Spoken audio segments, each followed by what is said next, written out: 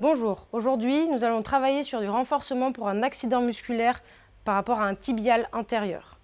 Premier exercice, on va venir ici au sol, agripper avec les doigts de pied et venir détendre en extension. Agripper avec les doigts de pied et effectuer une extension.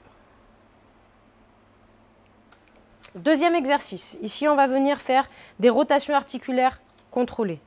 Donc le but, ça va être de faire les rotations les plus grandes possibles dans un sens, trois d'un côté et trois de l'autre.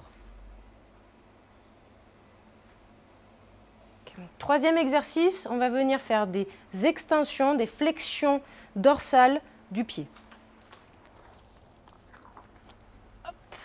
Pour ceci, vous avez besoin d'un élastique accroché à un mur, à une table, mais à quelque chose qui tient.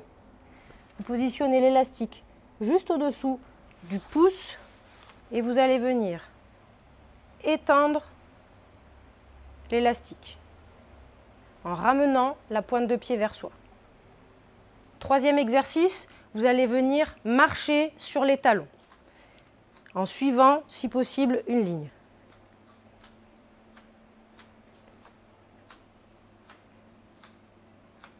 Cinquième et dernier exercice, vous allez venir en appui unipodal, ici genou souple et fléchi, les mains croisées sur les épaules et vous allez tourner d'un bloc avec la tête et le regard à droite et puis à gauche.